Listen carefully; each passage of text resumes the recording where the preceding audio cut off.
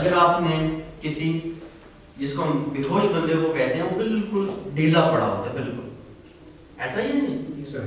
Okay. जब एक बंदा ढीला पड़ा हो अपनी एयर में वो मेंटेन नहीं कर पाए तो वो इस पोजीशन में होगा? तो उसका सांस रुका हुआ होगा जो मैं पहले आपको ये कह सकते हैं गर्दन को नीचे की तरफ़ लेते हैं इस तरह उसका सांस रुका हुआ होगा वो प्रॉपर तरीके से सांस नहीं ले पा रहा होगा। आपने उसके साथ ये किया उसका एयर भी ओपन किया और वो फिर उसका क्लोज हो गया। नेक्स्ट स्टेप आपका क्या होना चाहिए